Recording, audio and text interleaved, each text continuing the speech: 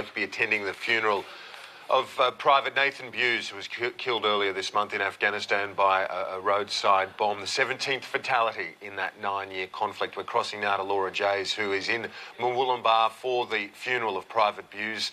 Laura, a sombre day uh, in our nation's two uh, leaders amidst the political fray, putting that to one side today to pay their respects.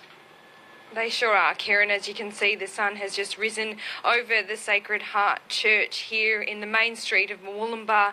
Uh, road workers already out this morning preparing for the funeral of Private Nathan Bewes. The roads have been cordoned off in preparation. Now, we are expecting uh, hundreds of people to come here today to pay their respects uh, from Murwillumbah, but also from across Australia. As you mentioned, uh, both the leaders will be here in attendance today, along with uh, Air Chief Marshal Angus Houston and also the Premier um, of New South Wales, Kristina Keneally. Now, Private Bewes was killed by a roadside bomb in Afghanistan earlier this month. He was on patrol in the Uruzgan province uh, when an IED exploded just before midnight on the 9th of July. But friends and family say that the 23 year old Nathan Bewes was uh, a career soldier. He was dedicated to the army and uh, he had uh, he was a very courageous and uh, they will remember him as such today.